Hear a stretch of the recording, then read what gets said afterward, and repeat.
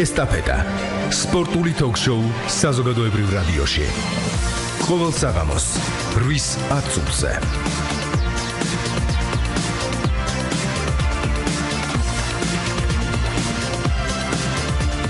მოგესალმებით ეთერშია სპორტული ток-შოუ ესტაფეტა მიკროფონთან ელენე ბილიხოძე. წარმოგიდგენთ დღევანდელი ჩვენი გადაცემის თემას. ჟურნალისტი კახაბერიძე ჩვენ დღეს ევროპის ჩემპიონატ შევაფასებთ. შემოგვიერთით 240-92-92-92-92-92 კითხვა და მოსაზრება რადიო 1 წერტილი ჯიზე გამოგვიგზავნეთ.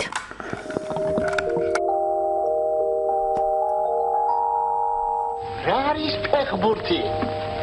ბურთი სტადიონი. და იამანიძე მიიღო კალოევმა. კალოევმა გადასამდეს მესხმა თავისი შესანიშნავი ფინტებით მოატყუა მოატყუა მეორე მოატყუა მესამე მოატყუა მეოთხე მოატყუა მეხუთე მეკარე! ყველაზე ამაღელვებელი და აზარტული სპორტი საზოგადოებრივი რადიოს ეთერში კახა კიდევ ერთხელ მოგესალმებით. მადლობა რომ ხარ ჩვენი გადაცემის სტუმარი. დასრულდა ევროპის ჩემპიონატი, დასრულდა ერთთვიანი მნებათ აღელვა. პორტუგალიის ფეხბურთელთა ეროვნული გუნდი ევროპის ჩემპიონია. მოდით თავდაპირველად აი ყველაფერი დავიწყოთ თავიდან და შეაფასეთ ეს პირველი მატჩები, პირველი შეხვედრები და საბოლოოდ რამდენად გამართლდა ეს 4 წლიანი მოლოდინი 32 გუნდი ევროპის ჩემპიონატზე. 24 უკაცრავად დიახ ევროპის ჩემპიონატზე. მოგესალმებით. მადლობას მოგახსენებთ ვახსენებთ გადაცემაში მოწვევისთვის და რა თქმა უნდა მივესალმები რადიო მსმენელებს. დამთავრდა ეს ერთთვიანი ზეიმი, ზეიმი, რომელსაც 4 წელი ელოდება ხოლმე სპორტისტან კონკრეტულად ფეხბურთის მილიონობით გულშემატკივარი. რაც შეეხება მოლოდინებს ბუნებრივია ყოველთვის ასთა სხვადასხვაობა ყოველთვის იქნება ნებისმიერ ევროპისა თუ სოფლიოს ჩემპიონატზე. ყველა თამაშის რა თქმა უნდა კმაყოფილი არაზრუს არავინ არ იქნება და ნუ გამორიცხულია უბრალოდ რომ ყველა ნების 52 თამაში ხო ეხა ევროპის ჩემპიონატზე და 52-ივე თამაში თქვათ რომ ყოფილიყო რაღაც უმაღლესი დონის სანახაობრივი ბევრი გოლები და ასე შემდეგ. თუმცა პრინციპში შეიძლება ითქვას რომ ძალიანად მწირი გოლების რაოდენობა ნამდვილად არ ყოფილა და ძალიან ცოტა იყო ფრენ 0-0 ანუ ისეთი თამაშები რომ სადაც გოლი არ გასულა ძალიან თუ არ ვწდები 4 თუ 5 ანუ ძალიან ბევრი მსგავსი თამაში არ ყოფილა. გოლი პრინციპში უმეტეს თამაში გადიოდა. ნუ აქ სხვა თემა არის უკვე თვითონ ფორმატი ევროპის ჩემპიონატის და ამასთან დაკავშირებით რა თქმა უნდა ალბათ გადაცემის სრულობის დროს კიდევ ვისაუბრებთ. პრინციპში თუ შეიძლება ითქვას პირადად ჩემი მოლოდინი 100%-ით გამართლდა მეთქი ხა რო ვთქვა რა თქმა თქმა უნდა მოვიტყუები ბუნებრივია ანუ რაღაც რაღაც ხარვეზები იყო ბუნებრივია რაღაც რაღაც ხინჯები დამრჩა. ნუ მაგალითად ის რომ გუნდი რომელიც კონტინენტის ჩემპიონი ხდება და ძირითად დროში 7 თამაშიდან ძირითად დროში მოიგებს მხოლოდ ერთ ერთ თამაშს ბუნებრივია ნუ რაღაც დაუკმაყოფილებლობის გრძნობა რა თქმა უნდა გექნება. ნების ვინც არ უნდა ყოფილიყო ეს გუნდი პორტუგალია ექნებოდა. თუ გერმანია და საფრანგეთი რო გამختارიყო ევროპის ჩემპიონი და ესე გამختارიყო როგორც პორტუგალია გახდა, ну ბუნებრივია, ამას არასამართლიანად მივიჩნევდი, თუმცა ბოლოს ისე მოხდა, რომ თვითონ მატჩის ფინალში, რა თქმა უნდა, ის რომ რონალდო დაშავდა ბევრი გულშემატკივრის ასე ვთქვათ სიმპათია გამოიწვია. უბრალოდ სიმპათია კი არა უბრალოდ ის ადამიანები ვინც პორტუგალიას არ გულშემატკივრობდნენ ხო? აი რონალდოს დამტრევის შემდეგ 23 წუთზე გახდა შესაძლებელი როგორც იცით რონალდო. რონალდოს დამტრევის შემდეგ ბევრს რაღაც მე ძალიან ბევრი ვიცი იგივე სოციალურ ქსელშიც და სამეგობროშიც ზოგადად და ფეხბურთის გულშემატკივრებში ბევრისგან გავიგე დღეს რომ პორტუგალიას თქვა არ გულშემატკივრობდით, მაგრამ როდესაც მოხდა ესეთი რა რომ გუნდის მთავარი ლიდერი დაიმტრა და სოფლიო დონის ვარსკვლავი დაიმტრა პორტუგალიას, ნუ შემდეგ რაღაც შეცოდების მომენტი გაჩნდა ასე. თუ შეიძლება ითქვას. თუმცა იყო ერთი მომენტიც კახა, ფაქტიურად პორტუგალიის ნაკრებმა დაამტკიცა, რომ ძალიან ხშირად საუბრობდნენ იგივე სოციალურ ქსელშიც, რომ რონალდოსთან ერთად ეს ჯილდო უფრო ხელმისაწვდომი იყო პორტუგალიის ნაკრებისთვის, მაგრამ მის გარეშეც და დაამტკიცა, რომ არ არის ეს ის ხელწამოსაკრავი გუნდი, რომელიც მხოლოდ და მხოლოდ ვარსკვლავზე ჯუნას რონალდოზე დამოკიდებული. კი ბატონო, ფინალში დაამტკიცეს გეთანხმებით, ნამდვილად ფინალში 23 წუთის შემდეგ. ესეც ერთგვარი გამოწვევა იყო მათთვის, კი ბატონო. პრინციპში 23 წუთზე გახდა შესაძლებელი, თუმცა მანამდე დაიმტრა, ხო, მე-12 თუ მე-13, ნუ მაქსიმუმ მე-15 წუთი იყო, ხო, მატჩის დასაწყისი შემდეგ როგორც იცით, გავიდა, იმდენად არ უნდოდა მათში დაეტოვებინა, რომ ექიმებმაც მაქსიმალური იყონეს და რაღაც გარკვეული რამდენიმე წუთით დაბრუნდა კიდევაც, ხო, 4-5 წუთით მოედანზე და აი ერთ-ერთ კონტრშეტევის დროს, როდესაც მეკარემ ასე თქვა სწრაფად შეიყვანა ბურთი თამაში, იქ ასე თქვა რონალდოს სწრაფი გარღვევა უნდა ყოფილიყო, გაიქცა კიდევაც, მაგრამ ბოლომდე ვერ გაიქცა ალბათ გემახსოვრებათ ეს მომენტი და იძულებული გახდა ეს გადაცემა გაეკეთებინა და შემდეგ თქვა რომ შემცვალეთო. 23 წუთიდან პორტუგალია დარჩა გუნდის მთავარი ლიდერის გარეშე და რონალდო მარტო პორტუგალიის ლიდერი არ არის ხო იქ მადრიალ მადრიდის ლიდერია და ზოგადად არის რა თქმა უნდა სოფლიო დონის უდიდესი ფეხბურთელი ოქროს ბუცის რამდენიმე გზის ფლობელი და ასე შემდეგ სლატაშურის ერთ კაი პარალელის გავლება შეიძლება მესისთან დაკავშირებით ხა შეიძლება ბევრმა ასე ვთქვათ დაიწყებენ ალბათ ასე ვთქვათ საუბარს ქილიკით მესის არაგულ შემატკივრები და რონალდოს გულ შემატკივრები ორად არის გაყოფილი ხო? როგორც იცით მესის და რონალდოს გულ შემატკივრებს შორის ასთა სხვადასხვაობა და აი მესი არის ერთადერთი ერთადერთი არის ყოველ შემთხვევაში რონალდოს თუ ატარებს სუპერ ვარსკვლავი რომელსაც ნაკრებთან ერთად ჯილდო არა აქვს მოგებული მსოფლიოს ჩემპიონატის ფინალი წააგო და ორჯერ წააგო კოპა ამერიკის ფინალი. ხო? ნუ ბარსელონასთან ერთად ეხლა რა თქმა უნდა უამრავი ჯილდო აქვს მოგებული მაგრამ ნაკრებთან ერთად ტიტული არ აქვს მას. და აი რონალდომ გუშინ მოახერხა ევროპის ჩემპიონი გამختارიყო თქვენ აღნიშნეთ რომ დაამტკიცავა პორტუგალიამ, მაგრამ იმის უგულებელყოფაც არ შეიძლება, რომ ის წინა 6 თამაში ასე უხეში სიტყვას ვიტყვი ათრია თუ შეიძლება ითქვას მარტო რონალდომ. ხო იქ იყვნენ ნანის ბუნებრივი და სხვა ფეხბურთელებიც მაგრამ იგივე უნგრეთთან ორი გატანილი ბრწყინვალე გოლი არ უნდა დაგვიწყოს სწორედ მაგორი გოლის წყალობით გავიდა პორტუგალიის ნაკრები მერვე ფინალში. ხო ის 3-3 ის თრილერი უნგრეთს და პორტუგალიას შორის. იგივე უელსთან ნახევარ ფინალში არაჩვეულებრივი გოლი გაიტანა მატჩის მეორე ტაიმის შუა ნაწილში. ხო და ზუსტად მაგ გოლმა გადაწყვიტა ის იმ ნახევარ ფინალური მატჩის დედი. და მე დარწმუნებული ვარ ფინალშიც ის იტყო და თავის სიტყვას შეიძლება გოლი ვერ შეეგდო მაგრამ ყოველ შემთხვევაში იტყო და თავის სიტყვას აუცილებლად.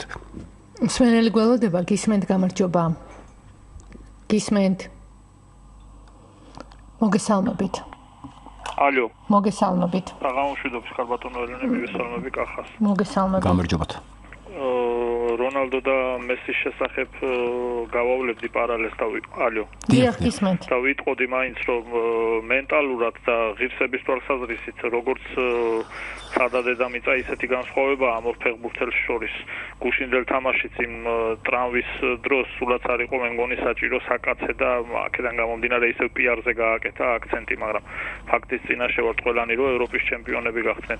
თქვენს ეთერში რეკავს ხოლმე ერთი ერთ-ერთი ერთგული მსმენელი რომელიც კარგა ხანი აკეთებდა პროგნოზს პორტუგალიის ჩემპიონობასთან დაკავშირებით და მინდა წარმატებები უსურვო რამე თუ მისი პროგნოზი რაც ჩემთვის ნაკლებად დასაჯერებელი იყო ასე ასე მოხდა და პორტუგალია გახდა ჩემპიონი და აფერუმ მას ძალიან დიდი მადლობა დიახ ჩვენს მსმენელს. რა თქმა უნდა საკმაოდ დიდია ვთქვათ ეს ემოციაც და ჩვენი ერთი კოლეგა ძალიან გულშემატკივრობდა პორტუგალიის ნაკრებს. ალეკო კაკაორიძეს ის იყო რამდენიმე დღის წინ ჩვენი გადაცემის სტუმარი და პირადად მას სულოცავ იმიტომ რომ ფაქტიურად ჩვენ ჟურნალისტთა შორის ერთ-ერთი თავგადაკლული გულშემატკივარი იყო ვინმე არ გამორჩეს თუ კი ვინმე გამორჩა პრინციპში არ ამგონია ელენე ვინმე გამოგჩენოდა პორტუგალიის გულშემატკივარი რო ყოფილიყო ალეკოს გარდა ვინმე აუცილებლად გვეცოდინებოდა. იმიტომ რომ ნუ პორტუგალიის ნაკრებს. იმდენად ცოტა ადამიანი გულშემატკივრობს და მით უმეტეს ჟურნალისტურ წრეში რომ გვეცოდინებოდა აუცილებლად. ალეკოსაც რა თქმა უნდა პორტუგალიასთან ერთად ალეკოსაც ბუნებრივია და ყველა იმ კომას ვისაც თავიდან ვეჭერდა რომ პორტუგალია შეეძლო კი ნუ საქართველოსში ალბათ იქნებიან რაღაც ბუნებრივია რა ადამიანთა ჯგუფი რომელიც ალბათ პორტუგალიის ნაკრებს გულშემატკივრობდა და რა თქმა უნდა მიულოცოთ რაც შეეხება იმ სმენელმა რო აღნიშნა პიარზე გააკეთა ასე თქვათ და ასე შემდეგ ეხა პრინციპში ცოდვა გამხელილი ჯობს და მეც ვერ დავიბრალებ ასე ვთქვათ რონალდოს ძალიან დიდ გულშემატკივრობას. ნამდვილად არ ვარ მე რონალდოს გულშემატკივარი და სიმართლე გითხრათ დიდი სიმპათიებითაც არ ვარ მის მიმართ გამსჭვალული მაგრამ გუშინ მართლა ნამდვილად შემეცოდა ის ცრემლების დარწმუნებული ვარ ასე ვთქვათ ნამდვილი იყო და არა პიარზე გათვლილი იმიტომ რომ ეხა ევროპის ჩემპიონატის ფინალში ნებისმიერ გუნდს ფეხბურთელს გული დაწყდებოდა. ხო როდესაც ესე მატჩის დასაწყისში თან პრინციპში სრულიად უწყინარი სიტუაცია იყო მოედნის ცენტრში პაიე ძალიან უხეშად ეთამაშა ერთ-ერთმა ჩვენმა კოლეგამ სოციალურ ქსელში გააკეთა პოსტი რომ საფრანგეთის ნაკრები ანუ მატჩის მიმდინარეობის ვლელობის დროს რომ საფრანგეთის ნაკრებიო თუ გახდაო ევროპის ჩემპიონიო პაიეო საუკეთესო ფეხბურთელი თუ არა ყოველ შემთხვევაში სასარგებლო ფეხბურთელი ნამდვილად გახდებოდა გახდებაო საფრანგეთის ნაკრებისთვისო და ალბათ პრიზ მიენიჭებენო იმიტომ რომ ეხა რონალდოს დამტრევა ბუნებრივია და ეს ძალიან დიდი პლუსი იყო ბუნებრივია საფრანგეთის ნაკრებისთვის.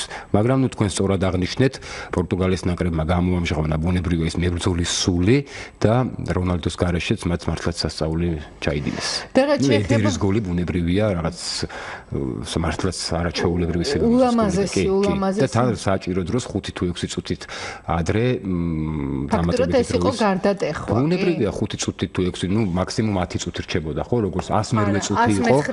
კი 10-12 წუთი კიდე ქონდა საფრანგეთის ნაკრებს მაგრამ გამოჩნდა აშკარად რომ საერთოდ და თქვენი გუშინ რეპორტაჟის სულელობის დროსაც აღნიშნეს კომენტატორებმა რომ დამატებით დროში ანუ მატჩის 90 ძირითად დროში საფრანგეთის ნაკრებს ქონდა 7 ჯერ ზუსტი დარტყმა კარში ანუ ბურთი რომელიც წავიდა ჩარჩოში და მეკარემ გააკეთა სეივი.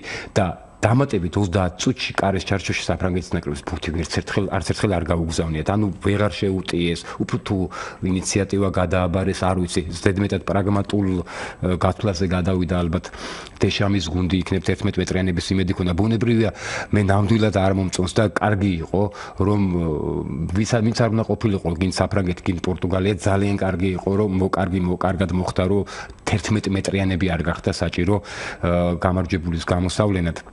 როგორც ეს მოხდა 2006 წლის სოფლიო ჩემპიონატზე საფრანგეთსა და იტალიის ნაკრებს შორის ეს რა თქმა უნდა არის საფეხბურთო ლატარია ხო? ბუნებრივია იქ ნების უსუსტესმა გუნდმა შეიძლება დაამარცხოს უძლიერესი გუნდი 11 მეტრიანების სერიაში იქ დამოკიდებულია ბევრ რამეზე ხო? რაღაც ფსიქიკაზე ნერვების გრადობაზე და ასე შემდეგ. ანუ ჩემი აზრით და ალბათ ბევრი დამეთახმება ამაში ეს არის ძალიან უსამართლო რამ როდესაც ესეთი ტიტულის მფლობელის ბედი ირკვევა 11 მეტრიანების სერიით. სმენელები გველოდებიან გისმენთ გამარჯობა. მოგესალმებით, კალბატონო ელენე, თქვენ სტუმარს მივსალმებით. მოგესალმებით. მე მინდა ყველა გულშემატკივარი, ვინც გულშემატკივრობდა მიულოცო პორტუგალიის გამარჯვება.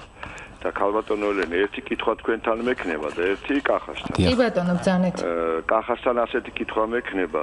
რა სიტყვის? აი 11 მეტრიანებს რაიმე ხო არ უნდა მოუხერხოთ. მაგის აზრი მაინტერესებს. მე რეთ ფინალებში და აი რა რაღაცნაირად სხვა მოვიფიქროთ. ადრე ერთი პერიოდი მე მახსოვს დიდი ხნის გულშემატკივარი ვარ. გადათამაშება იყო ხოლმე იმის დროს ის დროს და ერთი კითხვა თქვენთან ქალბატონო. კი ბატონო. ვეღარ მოვისმინე ის ინფორმაცია, აი ჩვენი ახალგაზრდა გოგონები რო თამაშობდნენ C დივიზიონში, კალათბურთში დავთავდა. კი ბატონო, დიდი მადლობა. კიდევ ერთი მსმენელი გისმენთ გამარჯობა. გამარჯობა გენოცვალე, მე ახლა მოკლედ დავაფიქსირებ ჩემ კითხვასავით ამაქვს რა, იმიტომ რომ მოუწყდი ამ სიტუაციებს. დიახ. ხო, ჩვენი კონკრეტულ თემას არ ეხება ახლა რაზეც საუბრობ სტუდიაში. აი C დივიზიონის მატჩი, მატჩები არის თუ არ ვწდები აი ახლა რა, ამ ამ კვირას შაბათს პარასკევიდან დაწყებული რა. და ჩვენი გოგონები აქვთ რეალურად გასვლის შანსი, როგორ არის ეგ ამბავი ახლა.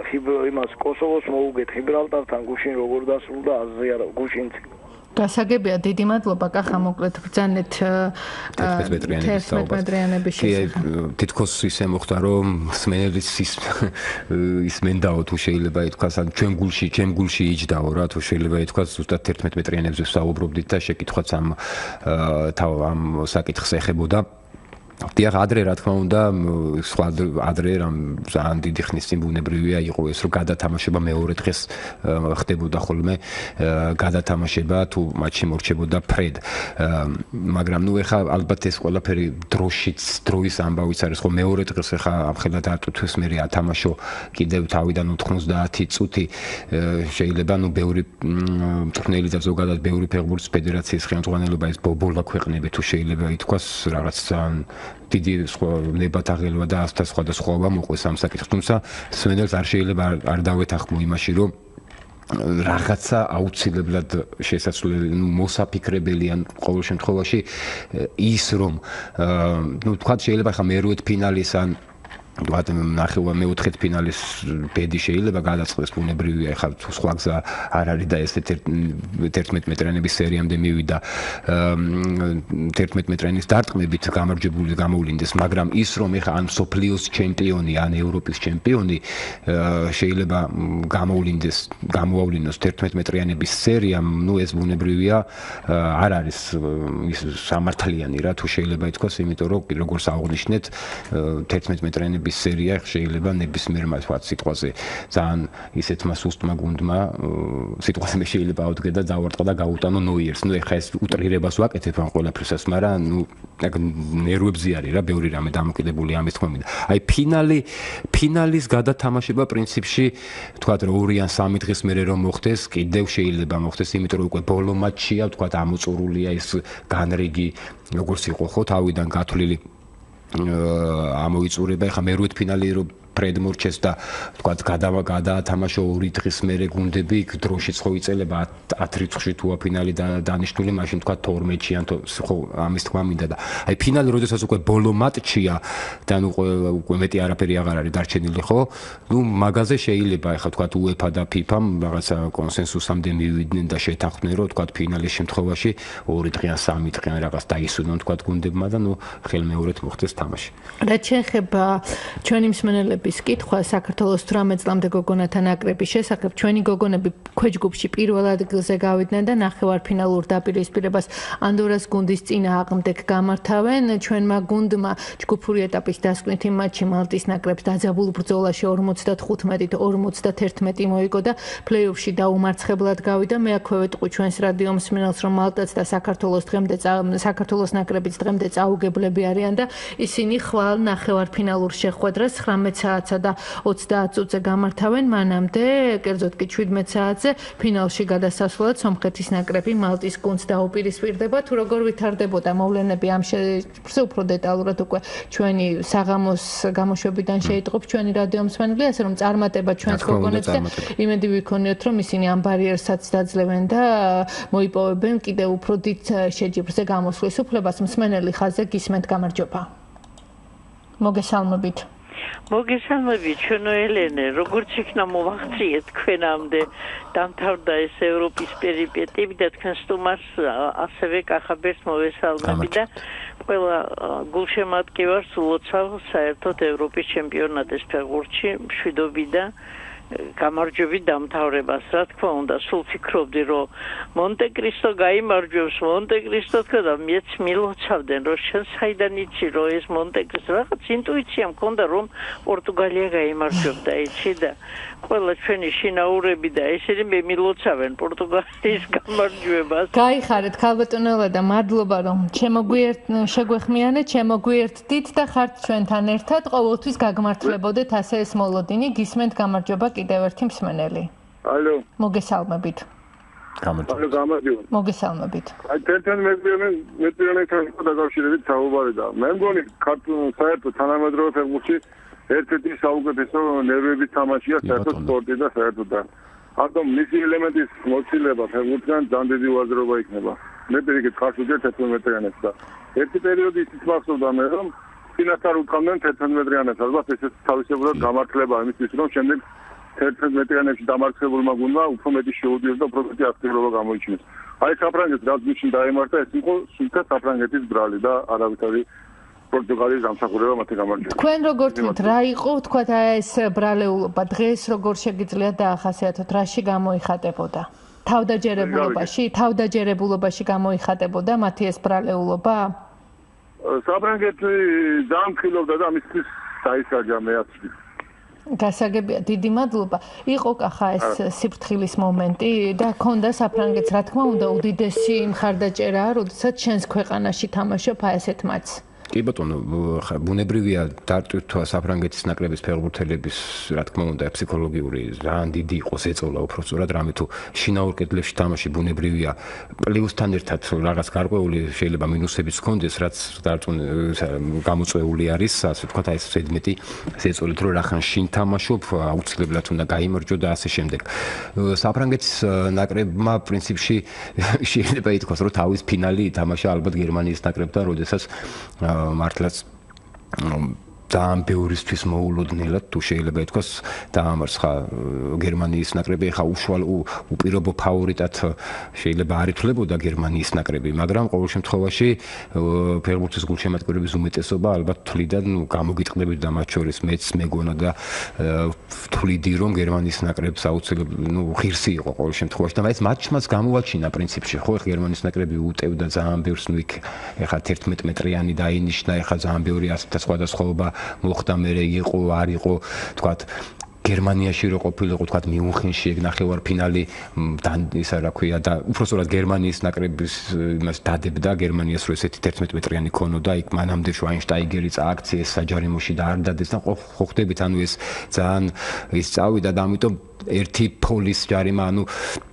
ისე აღმოჩნდა რომ ეს აღმოჩნდა ერთი ფოლის ჯარიმა. სხვათა შორის ძალიან ბევრი ბევრი გულშემატკივარი ძალიან შორსაც წავიდა და გავსი რამას თქვა რომ აი რიცოლი არ უნდა დაენიშნათ ამ მატჩის არბიტრად რამე თუ ის არის იტალიელი და მეოთხედ ფინალში იტალიის ნაკრები როგორ გამოვარდა ყველას კარგად მოიხსენება ხო და აი რაღაც შური იზია და მაგიტო დადო 11 მეტრიანი და გავსი საუბრები ბევრ გულშემატკივრებში ალბათ იქნება თუმცა ეხა ფაქტია რომ საფრანგეთის ნაკრებმა დაამარცხა გერმანიის ნაკრები და გავიდა ფინალში და ამის შემდეგ ბუნებრივია ძალიან ბევრს ეგონა უკვე რომ საფრანგეთის ნაკრების სტად დე ფრანზე ბუნებრივია აწევდა ევროპის ჩემპიონის თას მაგრამ ნუ მოხდა ის რაც მოხდა და ნუ ალბათ რა თქმა უნდა თავის თავს უნდა დააბრანონ ფრანგმა ფეხბურთელებმა მით უმეტეს და მით უფრო რომ 23 წუთიდან ისინი ფაქტობრივად თლად განახეურებულ პორტუგალიის ნაკრებს თუ არა ძალიან ასე თქვა ფრთამოტეხილ პორტუგალიის ნაკრებს ეთამაშებოდნენ და ნუ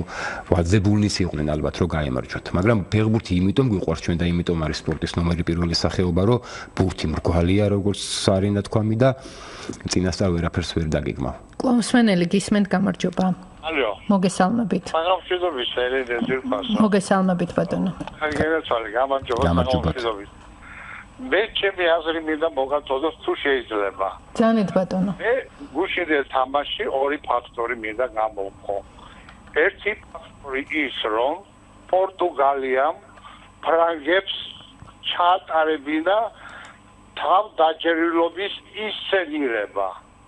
რომ ჩვენ ძლიერები ხართ და ჩვენ თქვენთან წაწოლილები ვართ.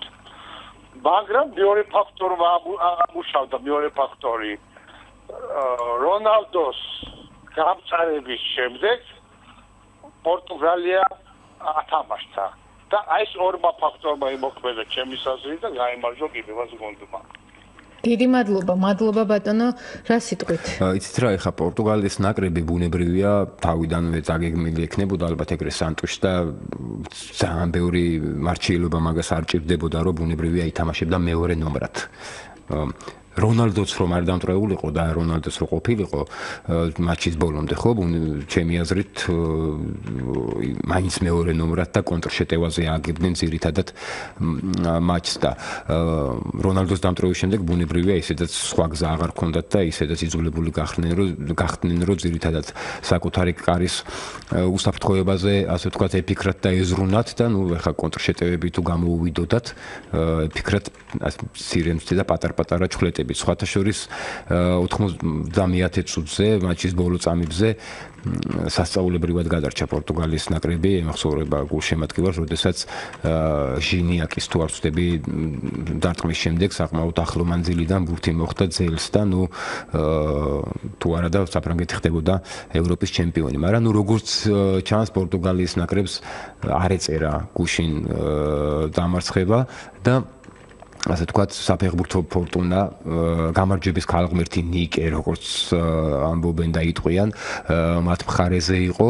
და საბოლოოდ გამოჩნდა რომ რონალდოს გარეშეც რა თქმა უნდა შეუულია პორტუგალიის ნაკრებს თამაში და თუ დააკვირდებოდა რა თქმა უნდა შეუძლებელი იყო ამ ფაქტისთვის არ მიექციეთ და ამ კადრებისთვის არ მიექციეთ ყურადღება ფეხბურთის კომაგებს თუ როგორ ასე თქვა ბოლო წუთებზე ბოლო 5 წუთი როგორ აქტიურად იყო ჩართული რონალდო ასე თქვა სამწვრთნელო საქმიანობაში გეხმარებოდა თავად ფაქტურად მწვრთნელი იყო. მითითებებს აძლევდა და ასე შემდეგ ეს მოედანზეც იგრძნობოდა როდესაც იყო თქვა თამაში ხო?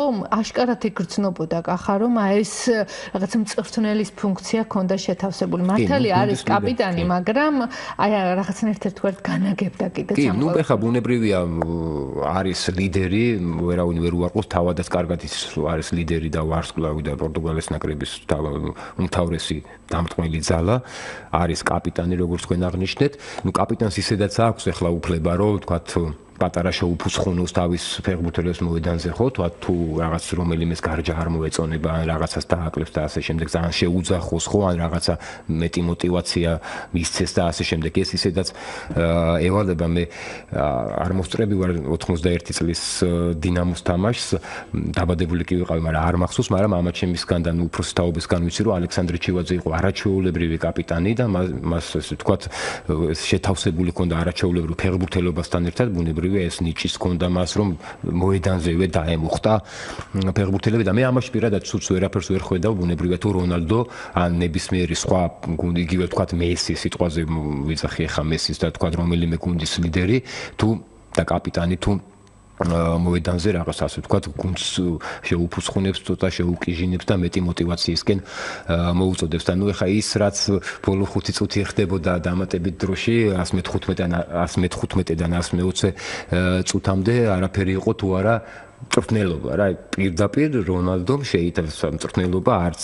და მე მგონი ისეთი შტაბეჭილებას რჩებოდა რომ მე მგონი მოედანზე ყოფით 11 პორტუგალიელი ფეხბურთელი მწრთნელს არც უყურებდა უყურებდნენ რონალდოს და ასე ვთქვათ რონალდოს მითითებებს იღებდნენ. და ნუ ღირსი იყო პრინციპში ალალი იცით რა არის ნამდვილად მივთვლი რომ რონალდოსთვის მართლაც ალალი იყო ეს ჩემპიონობა კიდევ ერთხელ აღვნიშნავ გუნდი რომელიც 6 ციფრით ხდება ევროპის ჩემპიონი რა თქმა უნდა უნდა არ არის ზოგადად მისაღები და მისასალმებელი, მაგრამ აქ მეორე ფაქტორიც არის, რომ რონალდო მართლაც მაქსიმუმი გაიღო ჯგუფური თამაშებიდან დაწყებული შემდეგ პლეი-ოფშიც მაქსიმუმი გაიღო საკუთარი გუნდის წარმატებისთვის და 100%-ით დარწმუნებული ვარ რომ მას რო დაცლოდა ბოლომდე თამაში ის ან სასარგებლო და ნაყოფიერი იქნებოდა ნაკრებისთვის. კითხვა ჩვენს ვებგვერდზეც დაფიქსირდა ჩვენი მსმენელი გეკითხებათ რას ფიქრობთ ჩემპიონატის ფორმატთან დაკავშირებით და რამდენად გაამართლა ამ სისტემამ? აა ჩემპიონატის э, ფორმატთან დაკავშირებით э, ჩემი აზრი არის ის რომ პრინციპში э, ორად პრინციპში მედალს აქვს ორი მხარე და ასე ვთქვათ ჩემი აზრით აზრით ორად არის გაყოფილი. პირველი ანუ კარგი რაც შეიძლება და ყოფილიყო და შეიძლება ვთქვა დაენახა და დაინახოს ფეხბურთის გულშემატკივარმა ამ ფორმატში არის ის რომ ვთქვა მატჩების რაოდენობა გაიზარდა და ვთქვა ის საფეხბურთო ზეიმი ვთქვა ერთი კვირით თუ რაღაც გარამდენიმე დღით ამ რვა გუნდის დამატებით ვთქვა გახანგრძლივდა ხო? მანამდე თუ ვთქვა სამკვირიანი იყო ევროპის ჩემპიონატი 16 გუნდის მონაწილეობით რახან გახდა 24 ბუნებრივია დაემატა ერთი კვირაც და გახდა ერთი თვე და ნუ მეტი მატჩია და ვთქვა ეს საფეხბურთო საფეხბურთოზე იმი გულშემატკივრებისთვის გრძელდება, მაგრამ მეორე მხრივ არის ის რაც უკვე მე ვთქვი, გუნდის ამი ფრით გავიდა, ну ესეთი რამე სოფლის ჩემპიონატზეც მომხდარა, ეხა 82 წლის იტალიის ნაკრები არ დაგვაუწყდეს, რომელიც სამი ფრით გავიდა ჯგუფიდან, მაგრამ ნუ შემდეგ პლეი-ოფში კი ჩაიდინა სასწაულები, მაგრამ ყოველ შემთხვევაში სამი ფრით გავიდა, ესეთი რამ დაფიქსირებულა. მარტო ეს არ არის ასე ვთქვათ ის მიზეზი უარყოფითი მიზეზი რომ ვთქვათ გუნდი სამი ფრით გავიდა. ასევე არის ჩემი აზრით უარყოფითი ის რომ აი რაღაც გარკვეულმა გუნდებმა იგივე სლოვაკეთმა ვთქვათ ხორვატიამ თუ არ ვწდები როცა უნდა და მოუმატებდა როცა უნდა და მოუმატებდნენ როცა უნდა და მატჩის იმას დააგდებდნენ თამაშებს ანუ უკვე იცოდნენ რომ გასულები იყვნენ მომდევნო ეტაპზე და სასურველ მეტოქეს ეს ასე თქვაც მეტოქის ძიებაში იყვნენ რომ მესამე ადგილით ვის შევხვდები, ამა მოდი მეორე ადგილით ვის შევხვდები და ასე შემდეგ. მაგრამ მაგრამ პრინციპში კიდევ ჩვენთვის აი ქართული საქართველოსთვის და ჩვენი ქვეყნისთვის და ქართული ფეხბურთისთვის თუ შეიძლება იყოს დადებითი ამ ფორმატის არის ის რომ თქვა ჩვენაერ ქვეყნებს უფრო მეტი შანსი გაუჩნდათ ბუნებრივია რომ თქვა გადალახონ შესარჩევი ეტაპი. ანუ მესამე ადგილსაც უკვე აქვს ხო გარკვეულწილად შესარჩევში შანსი მესამე ადგილზე გასვლის თუ თქვა იქ პლეიოფი და შემდეგ მოხდა ევროპის ჩემპიონატზე. ეს უკვე რაღაც დადებითი არის და ჩვენაერ ქვეყნებს ეძლევა ამის შესაძლებლობა, რომ იგივე ალბანეთი ავიღოთ და ჩრდილოეთ ირლანდია ახლა. პრინციპში ალბანეთი და ჩრდილოეთ ირლანდია პირველ მეორე ადგილებით გავიდნენ საკუთარი ჯგუფიდან, ხო, ეგ რა მაშინაც სასწაული მოხდა. ისლანდიაც საერთოდ პირველი ადგილით გავიდა ორჯერ ჰოლანდიის ნაკრები დაამარცხა, მაგრამ მე უბრალოდ ზოგადად ვიძახი, ანუ ესეთ პატარა ქვეყნებისთვის მეტი შანსია ბუნებრივია, რომ მოხდე ასეთ დიდ საფეხბურთო ფორუმზე. კლასმენელი გისმენთ გამარჯობა. გისმენთ. მოგესალმებით. გაითი შაით მსმენელი მედია კლავ შეგვეხმიანება. დიახ, ფაქტურად აი ჩვენ საუბრობდით აი ამ ფორმატზე და რომ არა ეს ფორმატი ძალიან ხშირად ამ სტუდიაში თვითონ სტუმარსაც და მსმენელსაც რომ შესაძლოა ვერ მოხვედრილიყო ევროპის ჩემპიონატზე უელსის ნაკრები. ისლანდიის ნაკრები, რომელმაც ისლანდიის ნაკრები მაინც მოხდებოდა პირველ ადგილზე გავიდა. კი ბატონო, მაგრამ ვთქვათ შეიძლება და ეს შანსი არ მისცემოდა ვთქვათ ალბანეთის ნაკრებს, იგივე ისლანდიის ნაკრებისთვისაც შეიძლება და არ ყოფილიყო ვთქვათ ესეთ წარმატებული ძალიან ბევრი ფაქტორი. ანუ გაუმართლად ვთქვათ ამ გუნდებს იცით რა, გამოაჩინა ახლა კონკრეტულად ისლანდიის ნაკრებზე თუ ვიტყვით, აშკარად გამოჩნდა ამ ევროპის ჩემპიონატზე, რომ მათი წარმატება შესარჩევ ეტაპზე, როდესაც მათ მართლაც სასწაული ჩაიდინეს და ჯგუფში პირველი ადგილი დაიკავეს, როგორც აღნიშნე, ორჯერ დაამარცხეს ჰოლანდიის ნაკრები შინ დასტუმრადას და ეხლა როდესაც ჯგუფში ორჯერ დაამარცხებ ევროპის ერთ-ერთ გრანტს ნარინჯისფერებს, ხო? ბუნებრივია უკვე იმსახურებ, ხო? ნებისმიერ შემთხვევაში იმსახურებ, რომ გახვიდ მოხდე ევროპის ჩემპიონატზე და კონკრეტულად ისლანდიის მაგალითზე თუ კიდე გავაგზავნებთ საუბარს, მათ ევროპის ჩემპიონატზეც დაამტკიცეს, რომ ისინი ღირსი იყვნენ იქ ანუ კონტინენტის პირველობას და საფრანგეთის სტადიონებზე თამაშის. ავსტრია დაამარცხეს იქ პორტუგალიას ფრე თამაშდნენ, ხო, უნგრეთის ნაკრებს უგებდნენ და ბოლო წამზე გაუშვეს გოლი მახსოვრებად. ნუ ეხა მერვე ფინალში რასასწაული ჩაიდინეს ინგლისის ნაკრების ძლევით, თავადაც არ ჯეროდათ მატჩის არბიტრმა საფინალურ სასტვენილი რო ჩასტვინა, თავადაც არ ჯეროდათ მე მგონი ისლანდიის გულშემატკივრებს და ფეხბურთელებს რო დე კომენტატორს ცნობილი კომენტატორი ალბათ ისლანდიელი უკვე ძალიან ცნობილი გახდა და პოპულარული, თავადაც არ არ ჯეროდა გაკიოდა ბოლო ხმაზე რო ჩვენ მივემგზავრებით პარიზში, მივემგზავრებით სტად დე ფრანზე, ანუ მათ დაამტკიცეს ნამდვილად რომ ისინი ღირსი იყვნენ ევროპის ჩემპიონატზე თამაშის. რაც შეეხება თქვა იგივე ალბანეთის და სხვა ნაკრებს ნაკრებებს მე აღნიშნე უკვე რომ ერთადერთი ერთ-ერთი პლუსი კიდე გარდა იმისა რომ თქვა საფეხბურთო ზეიმი გახანგრძლივდა რამდენიმე დღის გულშემატკივრებისთვის ხო ერთ-ერთი პლუსი ზუსტად ჩვენთვის ქართველებისთვის და საქართველოს ნაკრებისთვის და ქართული ფეხბურთისთვის 16-დან 24 გუნდამდე გუნდების რაოდენობის გაზრდას დადებითი ხარი აქვს ის რომ მეტი შანსი გვეძლევა ჩვენ რომ ვთქვათ მოხდეთ კონტინენტის პირველობაზე. მსმენელი გველოდება გისმენთ გამარჯობა. ალო. მოგესალმებით. სამწუხაროდ გაითიშა იმედი ამ სმენელი კლავ შეგვეხმიანება და იქნება ჩვენთან ერთად. აი საქართველოს ნაკრებისთვის ეს იყო ერთგვარად ძალიან კარგი გამოცდა, იმიტომ რომ ფაქტურად წლევანდელი ევროპის ჩემპიონატის მონაწილე რამდენიმე ნაკრები, მათ შორის ავსტრიის ნაკრები, მათ შორის უელსის ნაკრები ჩამოვა და ითამაშებს ჩვენთან ერთად. ჩვენი შანსები და რა უნდა იყოს ჩვენი ნაკრებისთვის მთავარი. ну ჩვენი ნაკრებისთვის ბუნებრივია მთავარი ნებისმიერ მატჩი ნებისმიერ მეტოქესთან უნდა იყოს რომ ბოლომდე დაიხარჯნონ. ეს 5 სექტემბერი ძალიან მალე მოვა. კი, რა თქმა უნდა, ძალიან მალე მოვა და ბოლომდე დაიხარჯნონ ბუნებრივია მეტოქეს არ მიუდგნენ რაღაც ზერელეთ ინდიფერენტულად, მაგრამ ჩვენი მეტოქეები საკმაოდ თანაბარი ჯგუფია, ხო, ეხლა გამოკვეთილი ეხლა უელს თუ უელსი ეხლა ამ ევროპის ჩემპიონატზე გამოაჩინა, რომ თქვათ მართლაც ესე ნუ ძლიერი გუნდია, თორე თქვათ რა რამდენიმე წლის წინ ნამდვილად არ ითვლებოდა ევროპის გრანდად, ხო? და ნუ ძალიან შორსაც თუ წავალთ, თავის დროზე 5-0-იც გვაქვს უელსის ნაკრებისთვის მოგებული, მაგრამ ნუ ეხა ეს ძალიან ადრე იყო 90-იან წლებში. ღმერთმა ქნას ამ შესარჩევ ციკლშიც განმეორდეს მსგავსი რა და საქართველოს ნაკრებმა ესეთი დიდი სიხარული მოანიჭოს, მიანიჭოს ქართულ გულშემატკივარს. Ну ეხა ის რომ თბილისში თამაშებს გარეთ ბეილი და იგივე რემზი და ეს უელსის ნაკრები რომლებსაც გმირები როგორც გმირები ისე დახვდნენ კარდიფში ალბათ ნახავდით და ნახავდა ფეხბურთის პერიოდულ შემატკივარი ამ კადრებს რა დიდი ოვაციებით დახვდნენ და რაღაც ცოტა თუ შეიძლება ითქვა თეთრი თეთრი შურით აღვივსე ამ ყველაფრის მიმართ რომ მსგავსი რამ რა თქმა უნდა ყოველას გვინდა რომ თბილისში და საქართველოსშიც გამოვცადოთ. 5 სექტემბერიც მალე მოვა თქვენ აღნიშნეთ სწორ სწორად აღნიშნეთ და ავსტრიის ნაკრების მეტოქე იქნება ჩვენი ავსტრიის ნაკრები იქნება ჩვენი პირველი მეტოქე. ეხლა ამ ევროპის ჩემპიონატზე ნამდვილად გამოჩნდა რომ რაღაც ავსტრიის ნაკრები დიდი მონსტრი და რაღაც უძლეველი გუნდი არ არის, ეგერ ისლანდიის ნაკრებმაც მოახერხა და დამარცხება. მაგრამ ნუ ეს იმის რა თქმა უნდა იმის თქმის საფუძველს არ იძლევა რომ ეხლა თქვა ჩვენი გუნდი უნდა მოეშვას და ჩათვალოს რომ აუცილებლად ავსტრიის ნაკრები დამარცხებულია და ასე. თუმცა იგივე იმ ავსტრიის ნაკრებმა პორტუგალიის გუნდთან ფრედ 0-0 ითამაშა. პირველი შეხვედრა კი ბატონო.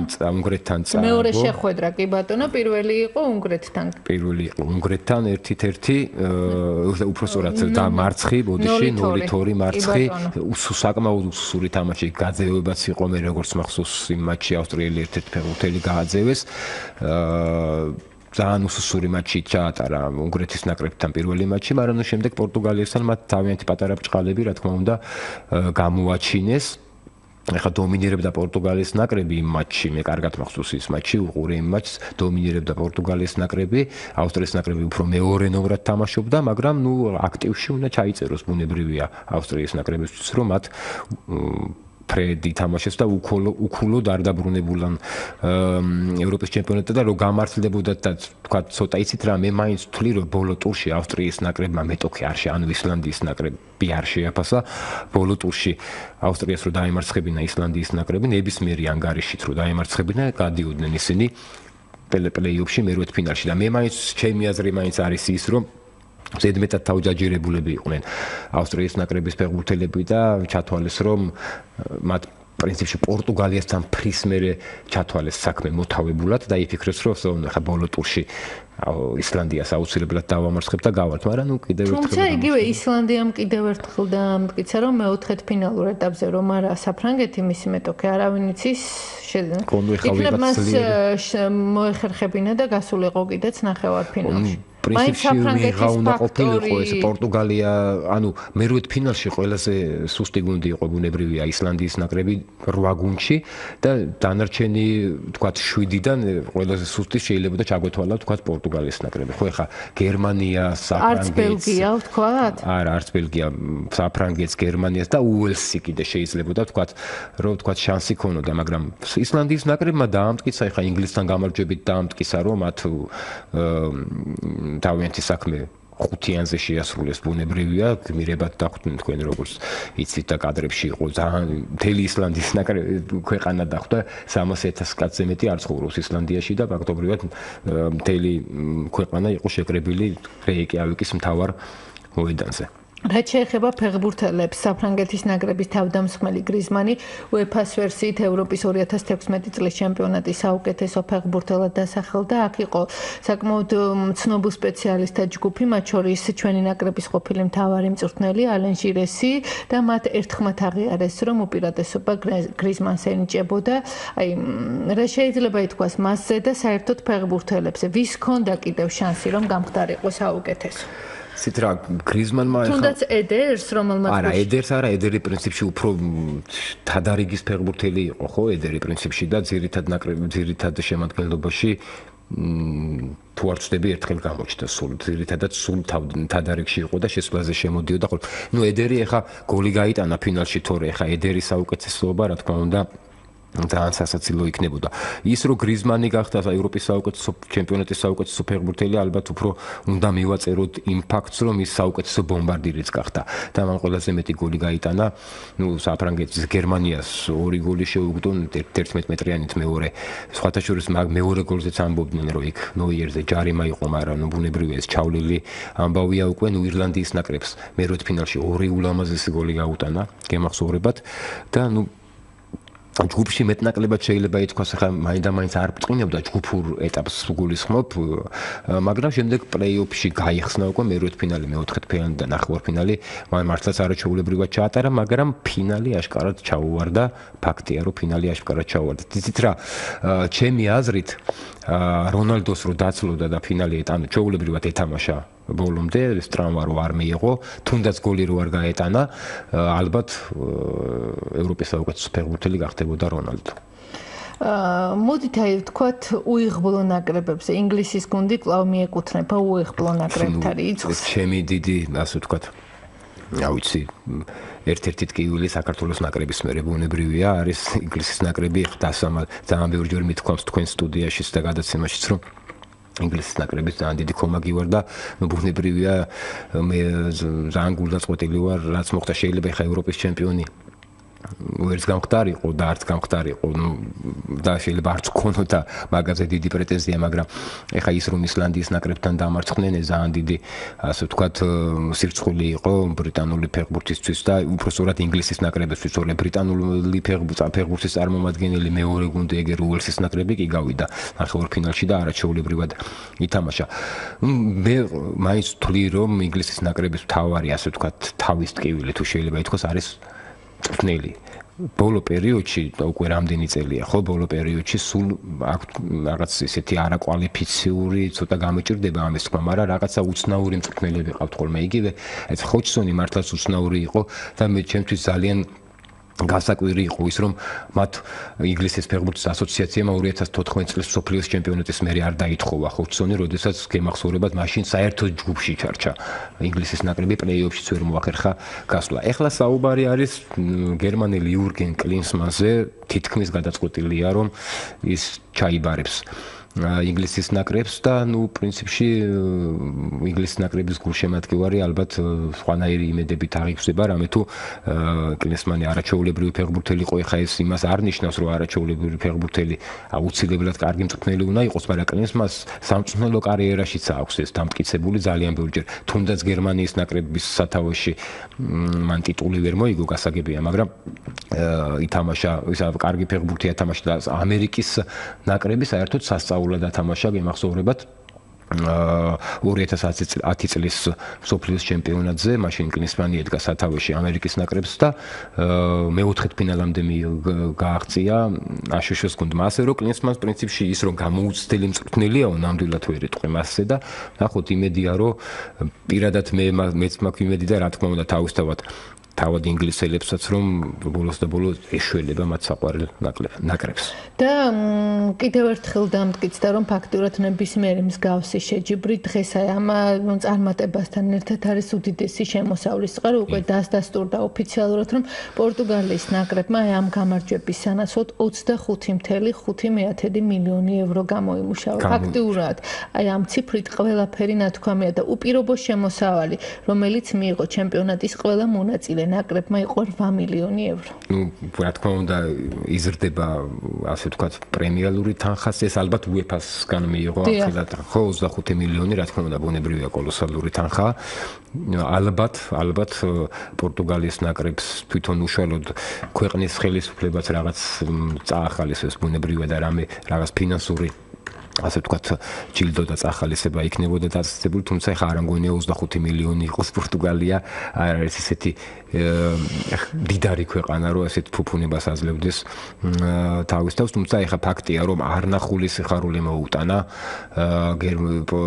პორტუგალიის ნაკრებმა თავის ქვეყნის გულშემატკივრებს და პრინციპში ხა თუ შეიძლება ითქვას, რომ რაღაც მომენტში შესაძლებელია სამართლიანობაც აღდგა იმ კუთხით მე გულისხმობ 2020 წლის ევროპის ჩემპიონატს, როდესაც პორტუგალიელები იყვნენ მაშინ მასპინძლები პორტუგალიაში ტარდებოდა ევროპის ჩემპიონატი და ფინალში რაც მოხდა, იმახსოვრება ყველა ჭეშმარიტ ფეხბურთის გულშემატკივარს, მათ საბერძნეთის ნაკრებთან მართლაც სენსაციურად წააგეს ის ფინალი 1-0 საკუთარ კედლებში. მაშინ იმსახურებდა ბუნებრივია პორტუგალიის ნაკრები რომ მოიგო ეს ტიტული, მაგრამ აა 12 წლის მერე აა პატარაზე თუ შეიძლება ითქვა სამართალმა პური ჭამა და პორტუგალიის ნაკრები მაინც გახდა ევროპის ჩემპიონი და მათთვის ამ ჯილდოს უფრო მეტად ასე ვთქვათ მეტი სიტყვა იმიტომაც ექნება რომ მათ ეს ყველაფერი მოახერხეს საკუთარი ლიდერი ლიდერის კრისტიანო რონალდოს გარეშე. მადლობა კახამ საინტერესო საუბრისთვის, მადლობა რომ იყავით დღეს ჩვენი სტუდიის სტუმარი. მე უკვე 22 საათსა და 20 წუთამდე გემშვიდობებით და ამ დროს დღის სპორტის ახალ ამბებს წარმოგიდგენთ.